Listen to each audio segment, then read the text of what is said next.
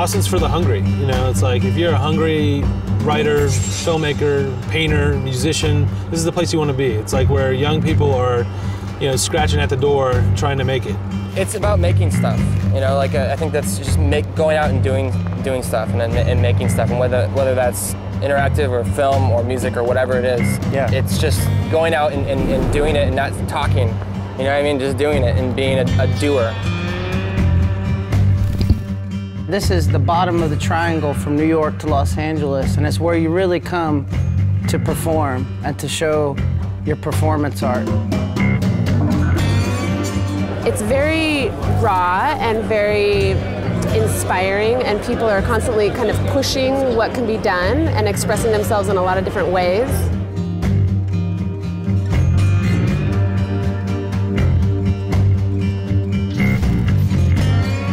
It's a, it's a great area, Austin. A lot of really interesting people, a lot of artists. So that, that's, that's why this place.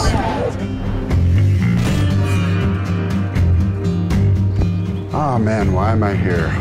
Uh, I'm here for a lot of reasons. I'm here to meet people and to learn. And I think I'm doing a lot of both right now.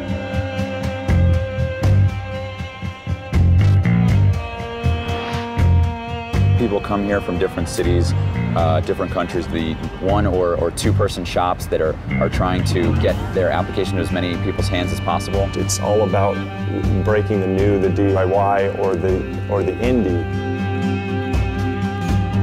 You know, you have all your like hopes and dreams. Every, every band that comes here is just hoping to like get noticed or get picked up.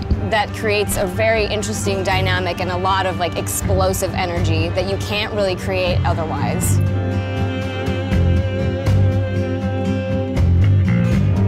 Is kind of a gamble because you don't really know what's going to kind of what you're going to get out of it, but at the same time, I think it's one of those opportunities you've got to do at least once. If you just really want something like in your heart that the universe sort of brings it to you and puts a road in front of you and all you have to kind of do is walk down it. I didn't really know what to expect when I came here. I just I just came.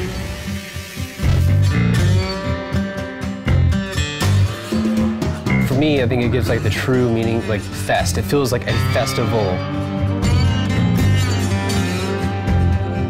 It means, it means, I mean, it means everything to, to us, really. Some one of the best weeks of your life.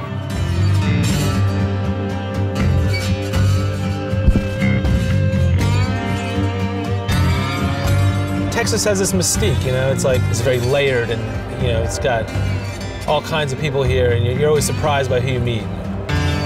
Keep Austin weird, you know, it's like, it's the craziest place in the world.